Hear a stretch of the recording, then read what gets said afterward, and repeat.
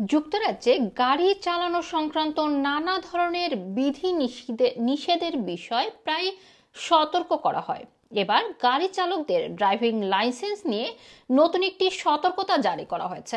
অনেকে মনে করে একবার ড্রাইভিং লাইসেন্স পেয়ে গেলে লাইসেন্স নিয়ে আর কখনো চিন্তা করতে হবে না। কিন্তু বাস্তবে বিষয়টি এত সহজ নয়। দুই পনেরো সালের আগে যারা ড্রাইভিং লাইসেন্স পেয়েছিলেন, তাদেরকে driver and vehicle standard agency বা ডিভিএল এর একটি সতর্কতা নোটিশের ব্যাপারে সতর্ক থাকা উচিত বলে মনে করছে ডিবিএলএ ডিবিএলএ দুই সালের আগে পাশ করা সব ড্রাইভারকে তাদের লাইসেন্সের একটি গুরুত্বপূর্ণ তারিখ পরীক্ষা করার জন্য সতর্ক করেছে। আর এটি হলো মেয়াদ উত্তীর্ণ তারিখ। সাধারণত একটি ড্রাইভিং লাইসেন্সের দশ বছর পর্যন্ত মেয়াদ থাকে।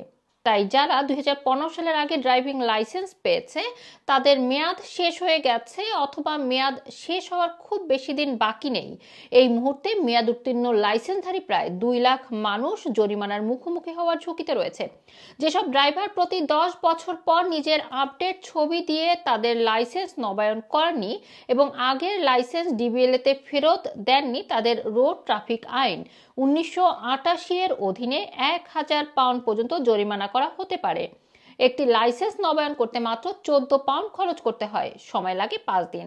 এছাড়া একুশ দশমিক পাঁচ পাউন্ড খরচ করে পোস্ট অফিসের মাধ্যমে লাইসেন্স নবায়ন করা যায়। তাই অহেতুক জরিমানা এড়াতে আপনার ড্রাইভিং লাইসেন্সের মেয়াদ শেষ হয়ে গেলে নবায়ন করে নিন। এদিকে সব বয়সী ড্রাইভারদের লাইসেন্স নবায়নের ক্ষেত্রে একই নিয়ম নেই। যাদের বয়স সত্তর বছর বেশি, তাদেরকে আবার প্রতি তিন বছর পর পর ড্রাইভিং লাইসেন্স নবায়ন করতে হবে।